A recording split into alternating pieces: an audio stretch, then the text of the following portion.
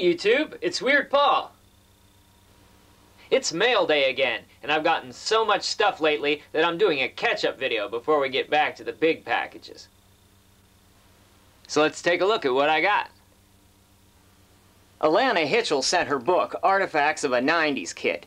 I can really relate to this, because it's full of her old journal entries, photographs, homework assignments, and even her Lisa Frank sticker collection. It's gotta be the best book of 2017. And she sent me a Tasmanian Devil keychain from 1993 as a bonus. Be sure to check out her YouTube channel where she uploads home movies from the 90s. Up next is some stuff that I got from my mom. A vintage SeaWorld metal bookmark. A whole tin of Mighty Beans. There's some pretty cool bods in here. The 50 film DVD set Nightmare Worlds. I think I've only seen about 30 of these. 18 mid-90s issues of the Far More Flash VHS rental magazine. And talk about rare, five issues of VCR news and reviews. I think my sister had cut some pictures out of this one, but incredibly, I actually have some of the missing pages in my own collection. Subscriber The Spookie Moon sent me a copy of his new CD, Spooky Blue Translucent Moons. It's really good. I'd describe it as ukulele-based chamber pop. Subscriber Ken Palmer sent this Movie Stop Directors Club card, which I'm thrilled to have because all the movie stops closed in 2016. Subscriber Jason Donnelly sent me a couple records. Gold and Platinum, which was a 1984 release from the Columbia Record Club that used proceeds to help fight cancer. I remember my dad getting this album when he joined the club in 1985. It's a really solid compilation. Uh, I mean, other than that Dan Fogelberg song. Jason also sent me this LP by the Philadelphia band Dangerous Ponies. It's autographed by all the members and came with one of their set lists written on a napkin. And best of all, it's on this pretty marbled vinyl. Here's some stuff that I got from my friends Armando and Jen. Armando gave me this Blu-ray of the 1989 horror movie The Boneyard. I've never seen this, but how can you go wrong with Phyllis Diller and Norman Fell? He also gave me this Blockbuster Video promo VHS tape that they ran in the stores back in 1997. Joe's apartment got its fame from some skits on MTV, as did these adolescent characters. The infamous duo moves off the couch and onto the big screen in Paramount's new theatrical release, Beavis and Butthead Do America. And Jen presented me with over 550 matchbooks from her collection. All kinds, from all over. An awesome variety. Just incredible. I could do a whole video on these. Thanks, Jen. Here's a little box of stuff that came from Haley and Angie Arcuri. I got a book of unicorn stickers. Yeah, that one's dope. A Morton Arboretum bag made out of recycled material, a couple packs of casino played cards from Bill's Gambling Hall and Saloon, and a drinking game dice shaker. Inside this Christmas tin is another Christmas tin, and inside that is chargers and adapters, coasters, an Osteogenesis Imperfecta pin, and some bracelets, stickers, hotel key cards, a Fire Mountain Gems ruler, and a ticket from Transformers The Ride at Universal Studios. I also got this nice pair of Gant sunglasses, and I got some corporate swag.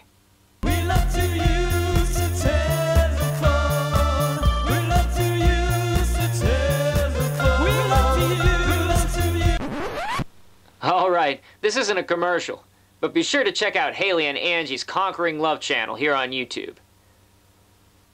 Justin Chanel gave me this DVD of a movie he directed, Winners Tape All. It's a mockumentary about two stepbrothers who made movies in the 80s like Curse of the Stabberman and Cannibal Swim Club.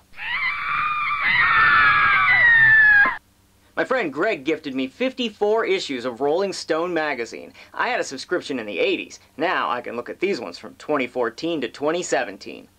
Scott Miller sent some fun stickers. These are of his art that he sells prints of.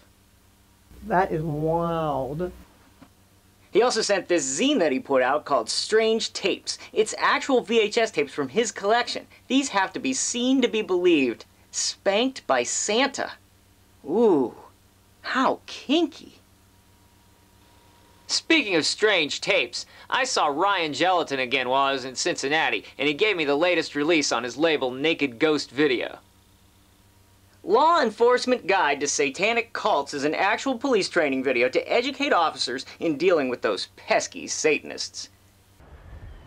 In satanic occultism, that which is good is bad, and that which is bad is good. And as you view this learning and educational tape, pay attention to notice the reverse of everything that is normal becoming abnormal.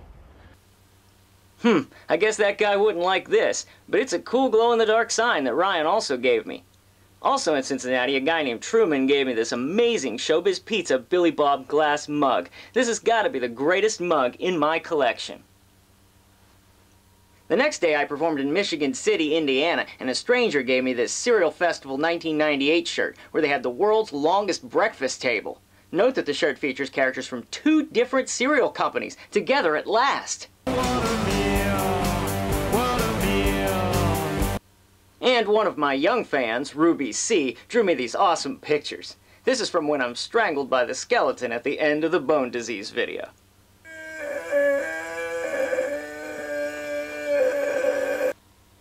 Be sure to check out the interview that Ruby C did with me while I was in Michigan City. The link is below in the description. I got some cool erasers from subscriber Olivier Cossette.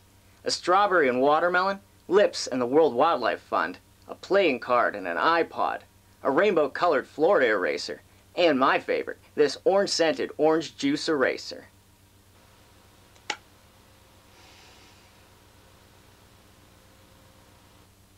Subscriber Edward Fernandez sent a copy of his book, The Trusty Butter Knife, an 80s Adventure. The story takes place at Halloween in 1985, and even though I just started reading it, I already love it due to all the 80s references. And finally, I got a few more things from subscriber Rocky Johnson. I saw his band, Shrouded in Neglect, and he gave me band stickers, a lanyard, a copy of their CD, Kill All Humans, and a couple fantastic Shrouded in Neglect t-shirts. And I was really excited that Rocky gave me this bass guitar. I'm using it to record my new album.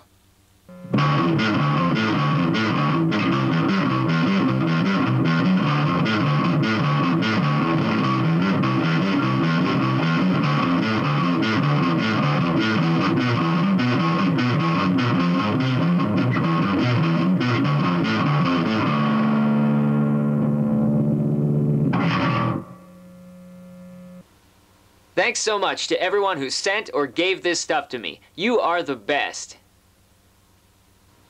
And I put links to all the channels, music, and art down below, so be sure to check them out. I'll see you soon with more memories. Thanks, YouTube.